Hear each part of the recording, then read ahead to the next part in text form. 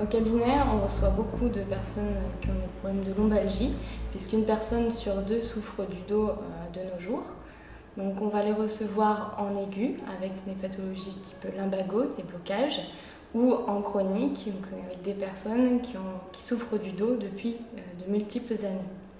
Donc moi j'utilise le laser en aigu, plutôt en début de séance, pour lever tout de suite les douleurs euh, présentes et essayer de débloquer la personne. Alors qu'en chronique, je vais utiliser plus en fin de séance pour soulager les douleurs dues aux mobilisations ou aux exercices qu'on a fait précédemment.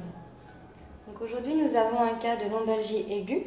Donc je vais choisir ma zone lombaire euh, je vais choisir un programme donc, de contracture musculaire lombaire, puisque c'est en, aigu. Je choisis euh, mon phototype, la chronicité et la douleur. Et je vais attaquer un programme qui dure 5 minutes 30.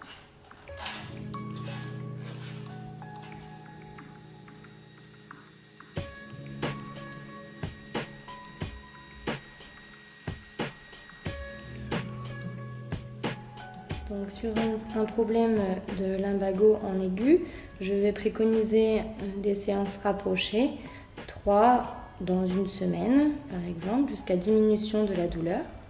Sur un problème de lombalgie plus chronique, je préconise des séances plus, moins rapprochées, mais sur du plus long terme. À raison par exemple de deux séances par semaine sur trois semaines, quatre semaines, suivant l'évolution du patient.